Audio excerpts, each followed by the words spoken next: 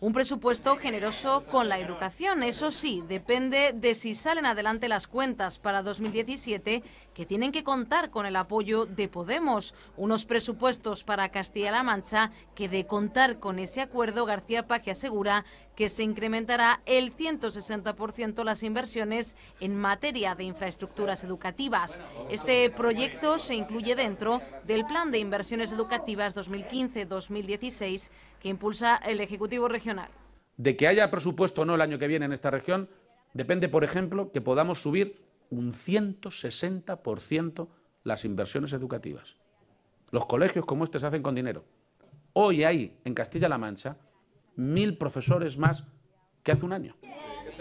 Las cuentas para el próximo año llevarán además medidas como la bajada de ratios o ampliar los derechos de los profesores, las becas comedor, la gratuidad de los libros de texto o la bajada de los másteres en la Universidad de Castilla-La Mancha.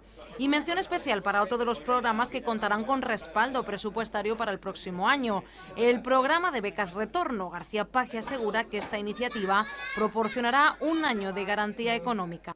Gente que ha estudiado aquí para medicina o para ingeniería y que se está ganando la vida en Londres o en Polonia o en Rumanía sirviendo cafés, que a nadie se le caen los anillos y es muy honroso.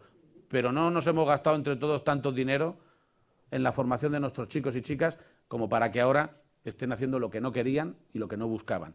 Acto de inauguración de García Paje en el Colegio de Educación Infantil y Primaria Nuestra Señora de Guadalupe de la pedanía Porzuniega del Torno en Ciudad Real, que viene a sustituir así al anterior centro que contaba con más de 40 años de antigüedad. Un nuevo centro escolar que entra dentro de este plan de infraestructuras educativas en el que se invertirán 70 millones de euros en diferentes actuaciones en nuestra región hasta el 2019.